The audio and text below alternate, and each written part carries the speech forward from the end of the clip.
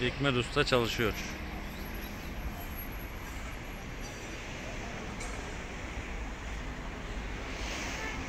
Arkada yine çalışanlar var.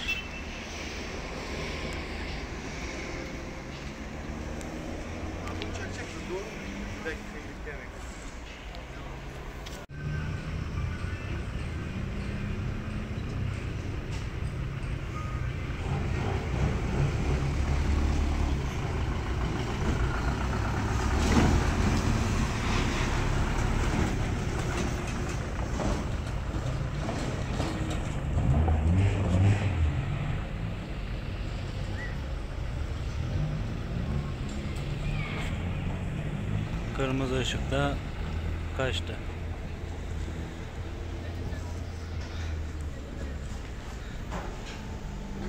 Kendi çapamızda yola kasis yapıyoruz.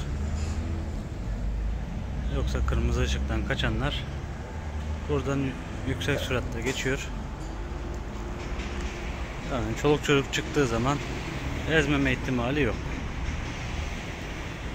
Belediye bazen sulama yapıyor. O da e, dükkanların içine çamur olarak geri dönüyor.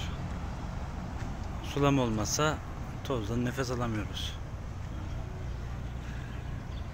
Buradan e, ileriye eski Malpazarı yoluna doğru ha, buradan Mahsur Dur- e, belediye bizi toza mahkum etti.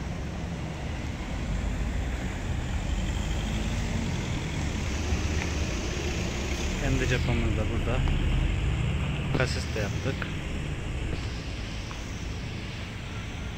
Buraya bir an önce asfalt gelmesini istiyoruz.